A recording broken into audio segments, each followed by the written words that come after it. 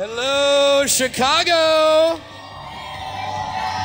Welcome to Joe's Bar for our first live country show of 2010. There was only one person we wanted to kick it all off with, so you're here tonight to see Phil Vassar.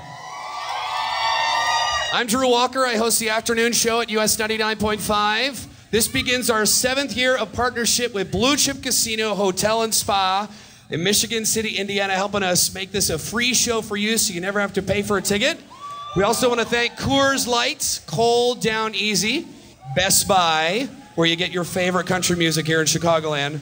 Also, Seattle Sutton Healthy Eating and Donate Life Illinois. Hold up your green armbands. Everyone got them?